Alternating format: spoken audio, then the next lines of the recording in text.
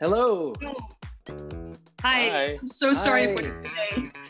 No problem. No No, problem. we were Yeah, Manuel and I were just having a good old chat. So yeah, yeah. Uh, just catching up.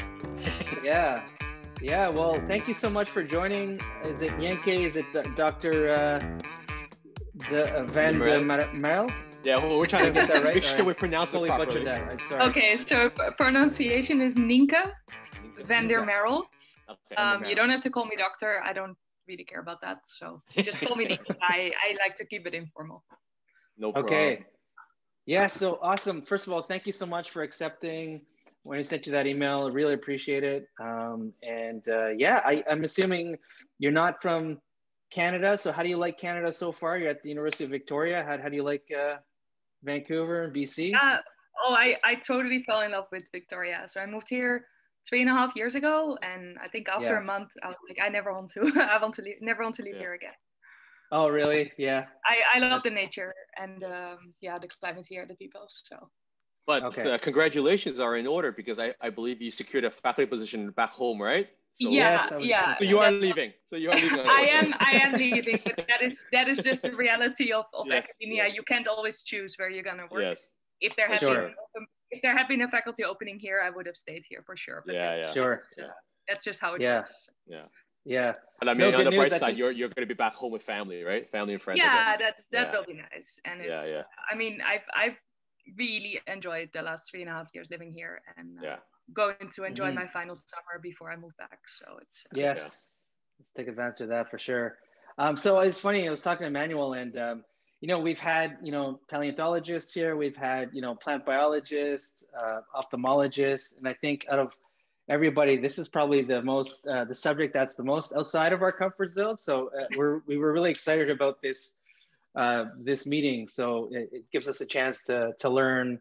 Um, and, you know, I just curious before we kind of get into your research and stuff, uh, when we were talking to Dr. Corwin Sullivan, he was a paleontologist, and he said, you know, I pretty much, uh, you know, never grew up as a kid because, you know, the stars and the planets and like dinosaurs is like something that we all uh, are so into as a kid. And he felt that he never grew up. That's why he kind of got into that. Is that something that like you can relate to, or how, did you get into this whole field? Um, oh, well, that, that's a very funny comparison because um, there, there were many things that I liked as a kid. And so astronomy was one of them, and stars and planets. But Yeah. dinosaurs was actually another one. right, Um, right. But I also liked ancient Egypt and Rome and cats and tigers. I don't know. There were there were many things that I really liked as a kid.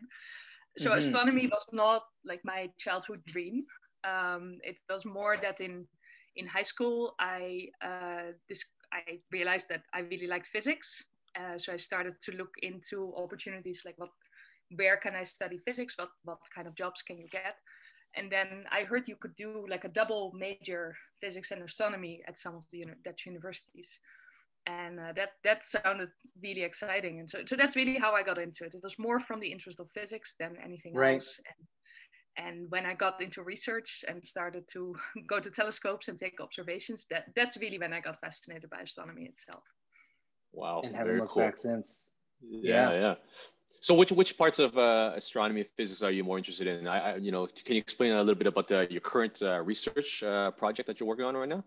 Uh, right. So, well, my, my overall research is about planet formation. Um, so I, I look at young stars that are still surrounded by circumstellar disks of gas and dust. So you can imagine those like pancakes with a tiny hole in the middle where the star is. Um, and so we, we know that the planets must form in these disks within the first sort of 10 million years of the lifetime of the star. Because after that, the disks don't exist anymore um, as soon as we look at older stars, there, are no more disks present. So that's kind of how we estimate that timescale. Um, and so my research is about trying to figure out what are the conditions in those disks? What kind of signatures do we see that maybe planets are already forming or are already completely formed? For example, if a planet um, it is sitting at a certain radius, it will, it will orbit the star and clear its orbit. So it carves a gap. Um, and we can observe those gaps um, in, in either dust or molecular line gas emission. So we can study um, dust densities, gas densities, chemistry, radiation fields, um, all of these these sort of physical uh, properties of the disk, uh, try to constrain them with observations, and then feed them into into our computer models where we try to create a planet uh, within the within the simulation. So it's um, the, the field itself is very interdisciplinary between uh, computer simulations and uh, observational data. Wow, interesting. Cool. And you say it takes 10 million years to to form a planet, roughly? Is that what you said? I think so. Maybe maybe one, maybe one million year. Um, so so okay. In astronomy, there's a running joke that everything is yeah. correct is, is estimated within an order of magnitude, so within a factor of 10. Okay. And that's definitely true for this one too. In, in fact, we don't know how planets form. We have a bunch of models, but wow. the predictions that they have right now, they don't match with what we observe. So we're still fine tuning those models, still update, updating those models. And I think an, an important part there is that um, that a, a lot of things have changed in the last 30 years, also with the discovery of exoplanets, because back in the days, we only knew nine planets, right? Only the planets in our solar system.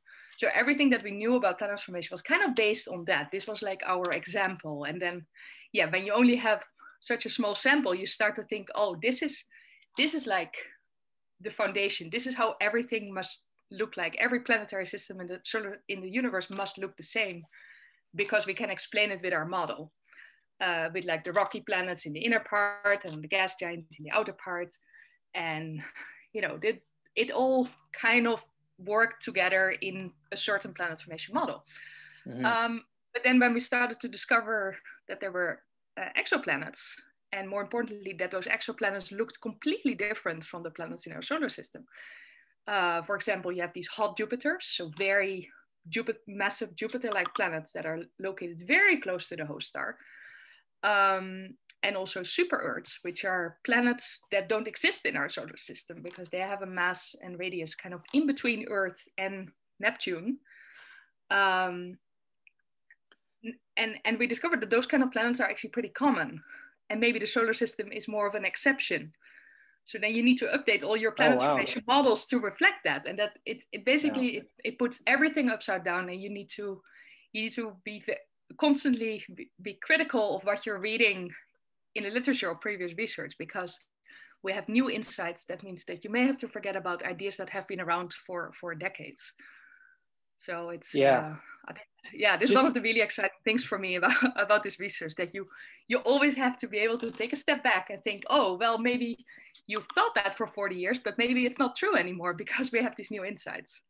Yeah. Well, it's, it's very similar to like like uh, Pluto, right? I mean, I I was I was brought up to say you know to consider Pluto as a planet, but now it's considered what a, a dwarf planet, which is not right. an official planet, right?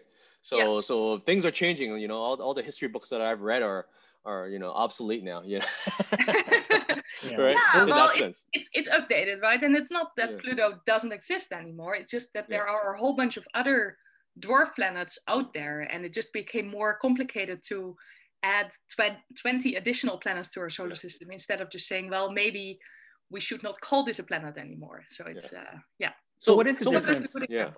Oh, I'm sorry. No, go ahead. That's exactly what I was going to ask as well. Oh, okay. yeah. What, what, what is the difference between a dwarf planet, a, a quote unquote real planet, and an exoplanet?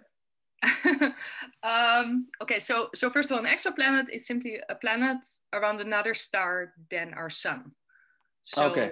So planets in our solar Simple system enough. we call planets, and yeah. and outside we call exoplanets. Um, but I I I probably use that term a little loosely when I talk about disks where planets are forming. I'm, I'm actually not saying that, I, I probably should say that exoplanets are forming there, but okay. Um, gotcha. And then for the difference between dwarf planet and real planet. So this is something that was basically decided by the International Astronomical Union um, what is it like 15 years ago that this this was around the time that we discovered that there are all these other dwarf planets around Pluto. Um, then they they basically said, well, let's let's add this requirement that you can only call the planet if it has cleared its its entire orbit of other similar like rocky objects. So the fact that there are so many dwarf planets sitting out there makes it makes them less like real planets because they are not large, massive enough to have that effect on on its surroundings. Cool. Okay. Okay. Well, thanks for that explanation. Yeah, I just to give like a, a, our listeners kind of a scope. So I was doing a little research this morning, and uh, you know everyone's heard of the the Milky Way galaxy. That's our galaxy, right? And mm-hmm. correct me if I'm wrong, but it, it, you know according to the Google, it says that uh, the Milky Way has a hundred billion planets, um, and is every uh, and it has so basically one of my questions was so how many galaxies are there in in the universe just to give a an idea of like um, the scope of i i think also like well i think like 100 million. 100 million i don't know a large number. Honestly really? i don't so so to study the so if you study planet formation you don't actually look at other galaxies because they're too far away. You cannot zoom into individual stars okay um, to study planet formation outside the milky way or, or even yeah. on the other side of the milky way it's just too far away things become too okay. faint and okay. too small so um, you could say i'm a little limited but i don't yeah so i, I think it's the estimates are about 100 million galaxies uh, in the oh, universe. Crazy. So it's, uh, it's, it's always a factor of 100. So there are a lot. Like, you're right. You're right. It's a factor of 10 or 100, whatever yeah. number yeah. Being thrown out. And uh, but and, and apparently there's 300 3200 solar systems in our galaxy. Um okay. I don't know what that number is based on. So so okay. first of all so we haven't detected 100 billion exoplanets. Uh, let me let me start with clarifying that. Okay. Um, what we've done with the Kepler mission and, and later with the, like currently with the TESS mission is scanning a part of the sky, um, looking for exoplanets. And then there is, then you can calculate the probability that you can detect an exoplanet to begin with. So you, you kind of, you need to correct for that. And then with that correction and then with some statistical arguments, you can say, oh, so every star in the Milky Way must have at least one planet. That is that is the, the current consensus. So that is what that 100 billion planets is based gotcha. on. Okay. We, we, okay. we have uh, observations of, I think, around 4,000, 4,500 exoplanets. And there, there are online databases, databases where you can find them. You can find all the papers that describe the discovery, etc. Um, and then there are papers where they, they actually do this, this kind of statistical analysis saying, well, just because we haven't studied all the stars doesn't mean we cannot say that there are, that there are no planets. So uh, that's what, what that follows from. The, the 300,000 number, I, I haven't heard that. I'm assuming it's a similar kind of argument, kind of how many stars have multiple planets, extrapolating that again to what we, what, what we have studied so far and mm-hmm. then extrapolate that to the whole Milky Way. Okay. Cool. So you, you study planet formation. What are the, the main ingredients uh, to form a planet? I, I know you, you're studying like space dust. You know, that sounds uh, super interesting on its own already. But what are what are the typical ingredients that you need to, to for a planet to form? Um, yeah, gas and dust. That's it, eh? So, so what's so special about dust then? Like, how how is dust formed? Like, like you know, maybe the dust in like Pat's uh, bedroom. You know, can that form a planet eventually with the right gas? um, well, so there are there are some properties that dust particles have that that make them uh, more likely to clump together.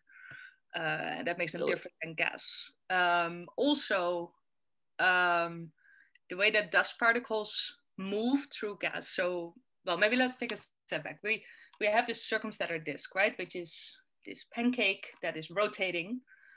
Um, so material is, uh, all the gas particles and dust particles are rotating, rotating around the star in the middle. There's also still material accreting onto the star because remember the star is still forming. Um, and at the same time, the star is radiating, so it is evaporating the upper layers of that disk um, and then there, there are probably even additional effects about magnetic fields that we don't really understand. There, there are a lot of processes happening with that entire disk um, um, dynamically. And um, so so one of the things that we that we think that are happening is the clumping of dust particles. So when they are moving around through all these different processes that I was mentioning, they have a certain probability of colliding with another dust particle. And then depending on their size, there are different forces that uh, result in those two dust particles actually sticking together rather than colliding and going in opposite directions. Yeah. So again, there's a certain probability that they may stick together. And so if you repeat that process over and over again, if you have multiple collisions, you can grow to larger and larger sizes. So this is essentially how we think that planet formation starts with that clumping together of tiny little dust particles. And then at some point, those dust rocks, or well, you can all, then at some point they become like planetesimals or Kuiper belt objects, kind of the things that we see in our solar system as well. When they're massive enough, they will start to uh, have their own gravitational field, uh, or at least their gravitational field starts to dominate over the gravitational field from the star. And that means that they start to accrete material faster and faster. And, and eventually when they when they are um, uh, as large, uh, like basically uh, larger than Earth, more massive than Earth, they can even start to accrete gas and then form a gas giant like like Jupiter or Saturn. Wow, so, very cool. So it all goes in, in different steps. And mm-hmm. the tricky part is that we cannot really, well, first of all, we cannot follow the process because, again, this takes millions of years according to our models. Um, and also, we cannot observe most of the larger stages because what we can detect with our telescopes are like the full disks and then the gas and dust distribution within that disk, but only the smallest dust grains. As soon as you go to larger sizes, um, this may sound a bit counterintuitive, but they are actually emitting less light. And, and you can maybe imagine it that if you think of the surface area of a dust particle or dust grain, if you have 100 dust grains that are very tiny, they have a larger surface, like all around their volume, compared to sticking them all together, because then it's only that outer surface of that cloud of dust particles, right? So mm. if you grow larger, you essentially lose um, a lot of the light that they that it is emitting. So at some point they grow too large for us to detect, and then we just have to guess what's happening. Oh wow! I can't imagine that planets are simply formed from dust. You know, it, it makes me look at the, the dust in the, the corner of my room a little bit differently now. I want to start gathering. It. I want to yeah. start gathering it, and then so, me so Pat, it does. It forms yeah. a dust ball. Yeah, right? that's basically probably the same concept. yeah. Well, the good thing about the dust in your room or my room um, is that the gravity of the Earth is a whole lot stronger than yeah. whatever forces they have on each other. So don't worry, they're not going to spontaneously form Unless we collect enough dust well, to make it big enough to form its own yeah. gravitational force. well, good luck with that. right. Wow. I wish you could, because it'd be easier to vacuum, easier to clean up.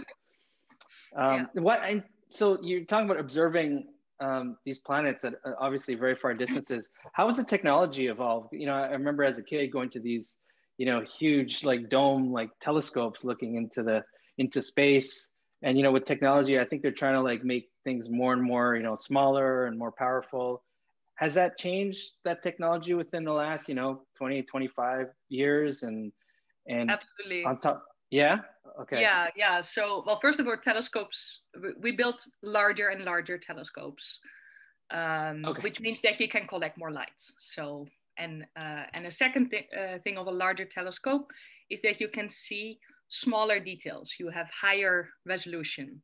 Um, and uh, yeah, so you, you may know this term from photography. Higher resolution means you have you, you can see smaller details. You have a sharper image.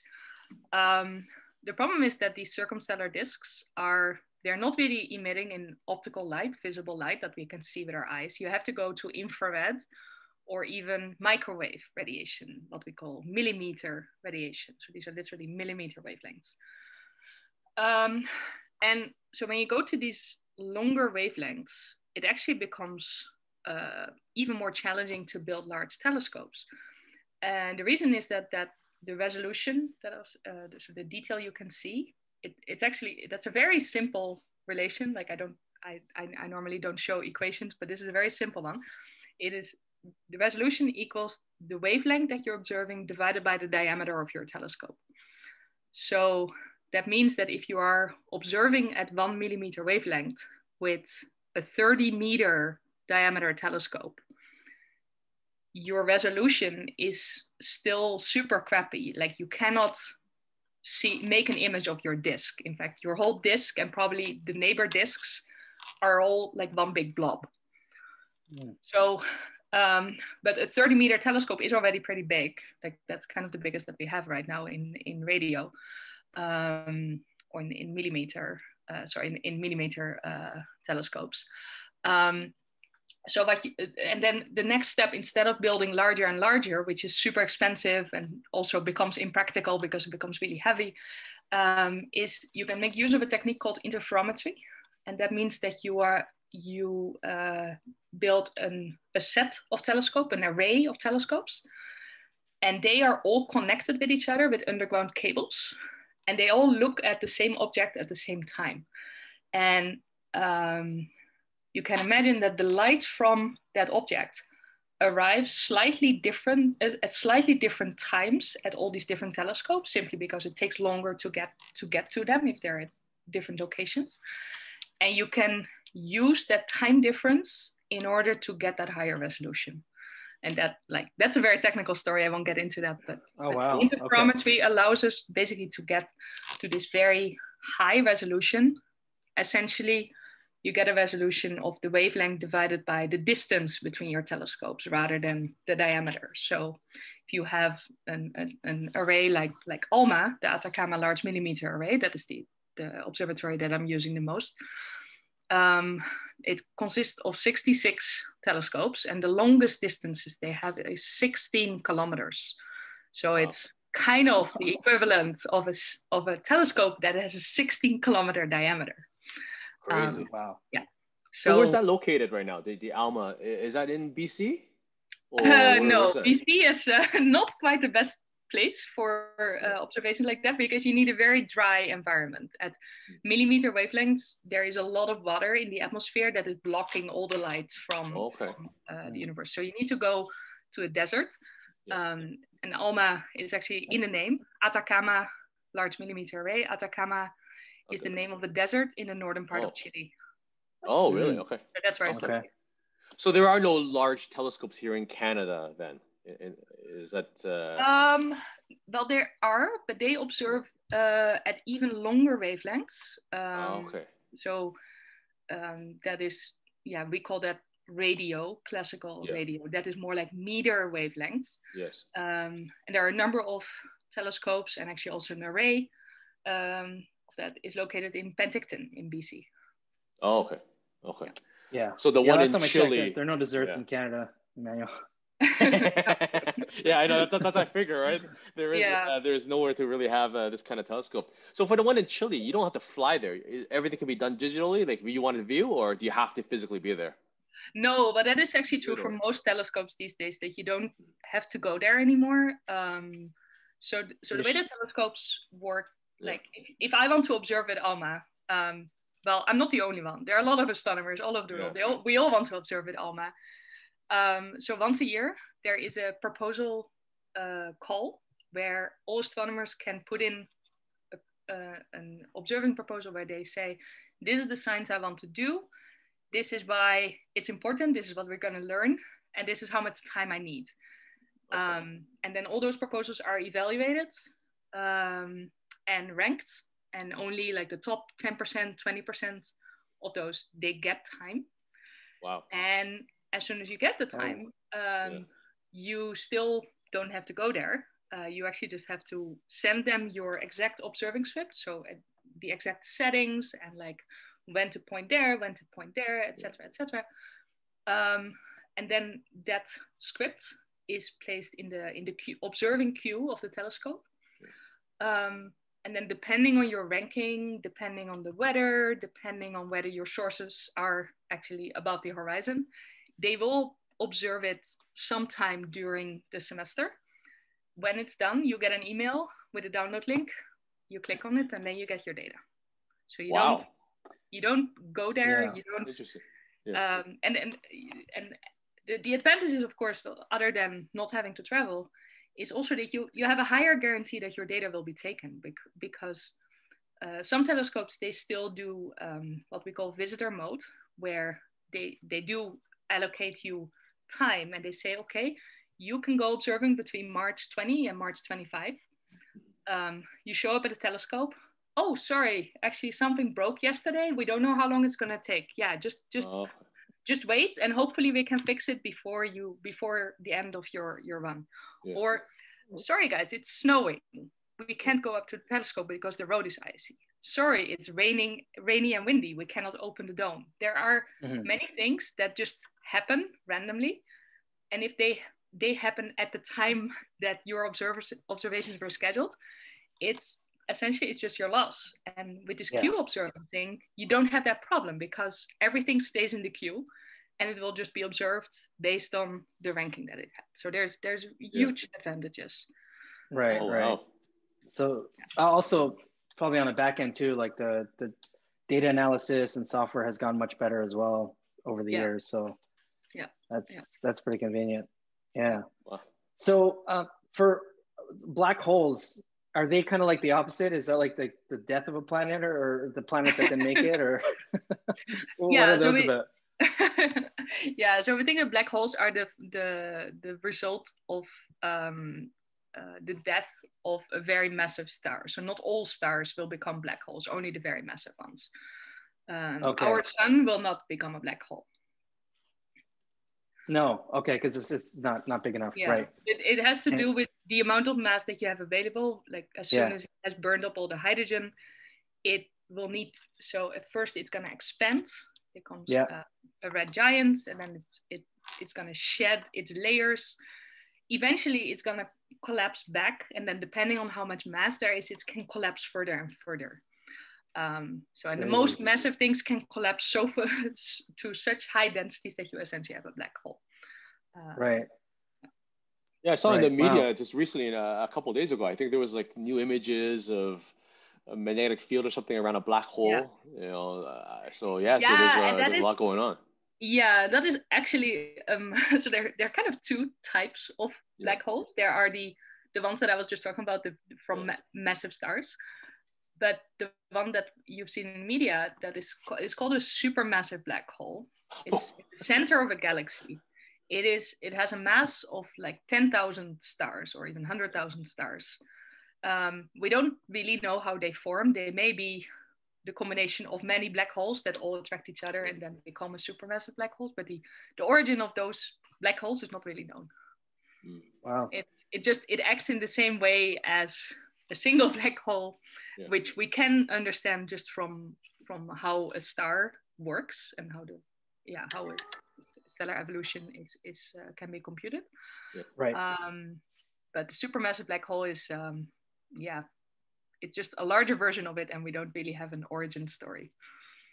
That's what they're called black holes, right? They're they're, they're yeah. mostly unknown. well, it's just something that is yeah. very massive yeah. and so massive that it, it not even light can escape and it has a yeah. gravitational field so yeah. we can measure the influence of the of the gravity on its surroundings and that that tells us that the black hole is there yeah wow so over the years Yanka, have, uh, when you're observing these these stars and these planets through the telescopes and doing data, have you noticed any any uh, indication of alien alien life form out there? like you know, you're observing this thing, it's like, what is this line going? Yeah, well, I'm not, I'm not really allowed to talk about that, of course. you have to kill no. you, Pat. Don't worry. Yeah, yeah. You're not you're not broadcasting that. no, I'm joking. I'm joking. Um, no, we've. I I can honestly say that I've never seen a signature of of alien life. Um, it would be really hard to detect anyway with the kind of observations that I do. Um, okay. I guess the closest the closest to it is um, so part of part of my studies is is astrochemistry. So trying to understand the chemical composition in these disks, um, and in particular at the locations where planets are forming. If we can understand what kind of molecules are there, that will tell us okay that those molecules may end up on the planets, and then mm-hmm. that may lead to the beginning of life eventually. Right. So it's that's the so closest I, I can get. I can only imagine as you're looking outward, you must think to yourself, or maybe you don't, but just let me know, uh, like how how amazing or how kind of like we hit the jackpot here on Earth, like for everything to align to to to make to make life happen. You know. Um, yeah. Is that something you think about? Or?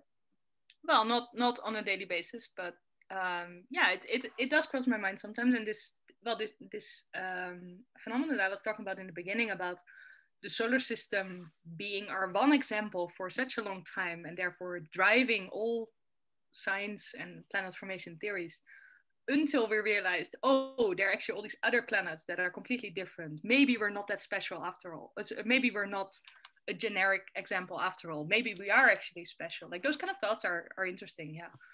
So I'm, I'm curious. So what is the purpose of the of a planet formation then? Like I mean, for us, you know, we feel like you know a planet is to help sustain life, right? That's you know that's that's one one purpose. So not all planets can sustain life, at least in our definition, right? So what what is the purpose of those other planets that are being formed then? Are they one day supposed to allow colonization of some sort of life, um, you know, or or you know, or, do they serve some sort of higher purpose? I'm, I'm just gonna. Curious. No, so so I don't think there's a purpose. I don't think there's a purpose to life, and I don't think there's a purpose um, to planets formation. Planets just form because physics works. Yeah. That's okay. that's the shortest okay. answer I have. Yeah. Um, we don't know exactly because again, it's a complicated process. Yeah. A lot of different physical processes happening at the same time. So again, this is why I study it. Um, but it does happen and it happens everywhere. So it's not like planet formation itself must be easy because otherwise there wouldn't be planets everywhere. We yeah. wouldn't have 100 billion planets in the Milky Way. Um, but, and yeah, I can, I think I can state that the fact that we have conditions here on Earth that are suitable for life is a coincidence. Doesn't mean that there cannot be life elsewhere because there are still many many planets out there yeah. so it's yeah. more like you the, the numbers are large enough that the same thing may have happened somewhere else yeah. um, but i i think it is rare but not impossible mm. So, yeah, it just, it just makes you yeah. it just makes you think, right? You know, like like you said, there's so many billions of planets out there, you know, and in other words, we just can't be the only ones, right? But it's just a matter right. of, you know, finding them or them finding yeah. us per se. Well, something good to keep in mind though is is um, timescales. Yes. Because well, the Earth is around, and uh, basically our solar system is around four and a half billion years old, which is one third of the time of the universe. Like we think the universe is about 14 billion years old. So that that's um, it's a pretty long time, and the universe is a little bit older, but yeah, it's a long time. Um, but if you think of how long life has been around on Earth, and more importantly, um, mammal life or, or even walking around having legs or, or um, feathers kind of life. That's a very short amount of time. Like the dinosaurs, oh yeah, when did that start? 150 million years ago. Yeah. Um, so most of the lifetime of the Earth, there was no life, or there was only very tiny bacterial life. Humans have been around even shorter, like Neanderthals were still walking around 100,000 years ago. The first humans, I think, estimated around 80,000. So 80,000 years divided by four and a half billion years. That's a very small fraction. Right. Um, dinosaurs have been around a whole lot longer than we have so far. We don't know how long we are going to be around. Like there, there are many things that kill species, yeah. whether it's animals or humans. So we don't know how significant we really are on the time scale of the lifetime of a planet. Mm-hmm. Yeah, I mean, there's there's planet formation. Are is there planet deaths occurring as well? I know you mentioned like black hole is the death of a star, but is, yeah. there planets expiring or you know um well we're, we're, yeah we're, we're not going to survive the death of our sun if that's what you mean um yeah. so what's gonna what happens at the end of a lifetime of a star is that it swells so that means that it becomes like it, it becomes much larger um which means that things become like for example earth is going to become much hotter when that happens um eventually, uh, I think I think Mercury will actually be swallowed up by the sun. Like it will, the sun will reach Mercury's orbit. Um, then, um, when it cannot sustain that large size, it will, like I said, it will shed its outer layers. That is a pretty aggressive event. I don't want to say explosion, but it, it's probably going to swipe away all the inner planets um, we definitely won't survive that and maybe the earth itself will not survive that like it may not stick together as a as a rocky thing um, right so you could say that's the death of a planet. By, by itself Okay. a planet's not going to die it's just that what the star does is pretty destructive. Gotcha okay. Yeah that clearly explains that. I, Well, I- we won't be- don't we won't be worry around it's going to that, be so a it's while okay. before that happens. Thank goodness, so uh, Yeah, our well- planet's not going to explode anytime soon. yeah yeah. Yeah well i mean there's there seems there's so so much so many unknowns and questions in your field uh, Nienke. it's just uh it must be you know pretty exciting for you you know Yeah. every day to just discover something new or think about you know uh possibilities out there so you know i mean good luck to you and your research and and uh you going back home um and you know thank you so much for your time today We really appreciate it yeah you're uh, welcome. Emmanuel, is there anything you want to bring up? Any? No, I was gonna say, if Last you have any there. uh, social media accounts, uh, you know, that we, you know, you would like us to promote, um, you know, especially you're recruiting, you're probably gonna be recruiting new students uh, starting September. So, you know, anything that uh, you would like us to kind of help advertise, uh, definitely let us know. Do you have any uh, like Twitter or uh, LinkedIn? Um, I have Twitter. You can you can Yeah. use that. It's uh, it's Nienke Merrill. Okay. Uh, I post there primarily for fellow astronomers, so it's it's not Okay. it's not a public outreach account, but it's Okay. not. So some posts may be incomprehensible, otherwise may be interesting Yeah. for general public. So Yeah. you're welcome to Ah. tag me. hey, Um, those, those students that understand your posts, those are the ones you want to recruit. for right? sure, for strategy. sure. Yeah. Well, I have, I have to say, I've already hired my student, my PhD student. Oh, did you? Wow, fall, that but- was but- fast. But for future years, hopefully, yeah. Yeah, yeah, that's yeah great. no i was i was lucky so i i uh, i signed my my contract in the netherlands in in january Okay. and in february were the the phd interviews so i was immediately Yeah. able to join that and and Oh, that's the Great. fantastic. so that's, that's yeah I'm, I'm really looking forward to that but of course Yeah. in the future this this will be uh this will be I, I will need more students so that will be great. Yes. great and uh, yeah i do i do hope to, to attract some some canadian students because i've Yeah. i've really enjoyed working with people here in victoria Yeah. and uh, yeah i That's Mm. great. the- Any- any, thing is that uh, astronomy is very international. Yes, for sure. I will continue to work with people in Canada, with people in Chile, in Australia. Yeah. Like no matter where I, where I live, that that's going to be possible. And that's uh, yeah. Also in the past year, we've we've all learned even more how to work remotely. Absolutely. Um, some of us were doing that already because we were working with people in other places in the world, but now we even do it with the people that live in our own city. Um, so it's um, you could say it's a blessing and a curse that we already know how to do that. Um, and I, I do hope we can go back to normal pretty soon to actually interact with people in person. But it's uh, um, let's say the the internet and the existence of the internet has has made the past year a whole lot easier for us. And um, again, it will continue to make also working internationally um, will just uh, remain very very attractive and very easy.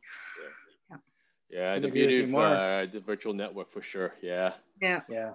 Are you speaking anywhere anytime soon, or is there anything you want to Um, promote? Or Well, so yeah, well, so something that I can promote is the um, uh, Nerd Nights. Uh, uh, so uh, Nerd Night is um, a monthly event uh, with public science talk uh, talks in a in a pub setting. Uh, so usually speakers drink beer, audience drinks beer. It's very informal. Um, I, I started that in Victoria, but it exists in many other cities uh, in Canada and and and also US and, and Europe and other places in the world.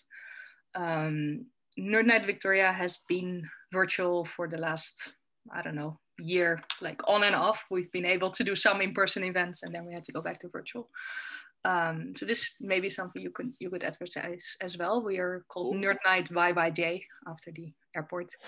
Um, so that's our Nice. hashtag, that's the hashtag on social media, and that's uh, that yeah that, that will be Okay. great. It's of course not Yeah. just astronomy; it's all possible scientific fields, but it's uh, yeah. Very cool. Oh, I never Yeah. knew about that. Is that like a website or is it a Facebook page or? All of it. Facebook, Oh, okay. Twitter, Instagram, website. Yeah, We'll definitely look okay, it up awesome. for sure. because you guys are are in Toronto. Yes. Uh, There- yeah, I'm there in is a- Waterloo. So, yeah. Oh, okay. Yeah, there is a Nerd Night Toronto as well. Uh, so cool. you may want to look that up. Oh, Um, interesting. I don't know about Waterloo. Maybe. Oh, Toronto's close enough, so Yeah. I could definitely uh, drive in for a beer. That's good. Yeah. All right. Well, that's Indeed. awesome. Thank you so much, Yeah. Nienke, for your time. Really Yeah, appreciate it. problem. And good luck with everything. Yeah. It's Thank you so pleasure much. meeting you, All right. Nika. Pleasure meeting Okay. you. Thank you so Bye. much. Take care. Bye-bye. See ya. Bye.